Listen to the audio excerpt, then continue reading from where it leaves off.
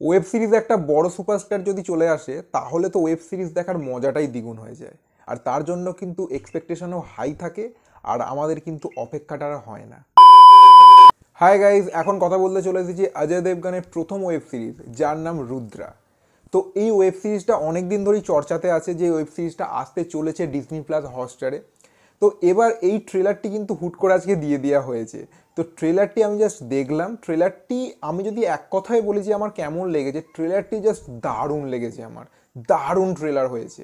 তো প্রথমে আপনাদের একটা কথা বলে রাখি যে এই যে সিরিজটি, এই সিরিজটি কিন্তু অরিজিনাল সিরিজ না মানে এর গল্পটা। এটা কিন্তু রিমেক এটা একটা লুথার নামে ওয়েব সিরিজের রিমেক মানে ইংলিশ ওয়েব সিরিজ লুথার, তার কিন্তু অফিসিয়াল রিমেক এটা। তো এই রিমেকটা কতটা ভালো হয় এটা তো সময়ই বলবে। তো ট্রেলারটি দেখে কিন্তু আমার যথেষ্ট ইমপ্রেসিভ লেগেছে। তো অজয় দেবগানকে যেরকমভাবে এখানে দেখানো হয়েছে, অজয় দেবগান এখানে একজন ইনভেস্টিগেটর পুলিশের ভূমিকা অভিনয় করছেন। তো তাকে কিন্তু তা, আপনারা তো জানেন যে অজয় দেবগানের তার চোখের এক্সপ্রেশনই আলাদা। তো এখানে ওই চোখের এক্সপ্রেশন দিয়ে না ঘায়েল করে দিচ্ছে পুরো।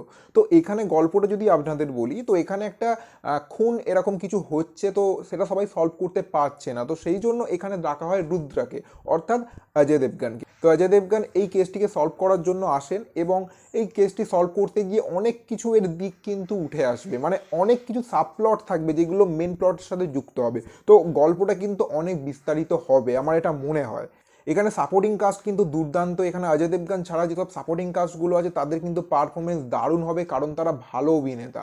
অনেকই চেনা পরিচিত এরকম অনেক অভিনেতা কিন্তু এখানে আছে। এই ট্রেলারটি দেখার সময় আমার একটা সিরিজের কথা মনে পড়ছিল খুব, হয়তো আপনাদের নাও মনে হতে পারে, আমার কিন্তু মনে হচ্ছিল।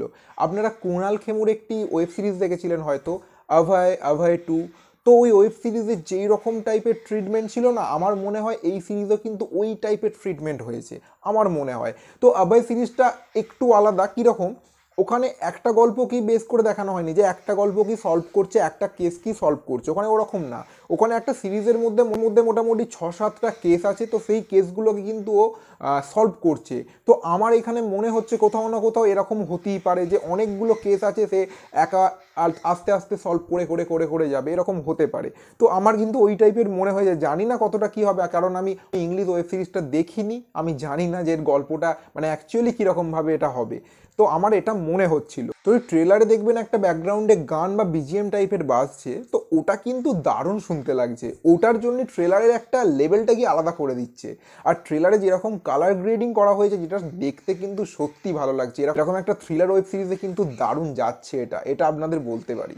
তারপরে এটা ডিজনি প্লাস হটস্টার বানাচ্ছে, তো পয়সা কি কমি নেই হ্যাঁ পয়সা কিন্তু প্রচুর লাগিয়ে যেটা বোঝাই যাচ্ছে। কারণ এত বড় সুপারস্টারকে যখন নিয়েছে, তো পয়সা তো লাগাবেই। কারণ এত বড় সুপারস্টার যখন আসছে, একটা হাটকে টাইপের জিনিস হবে, আর জিনিসটাকে পয়সা খরচা করা হবেই।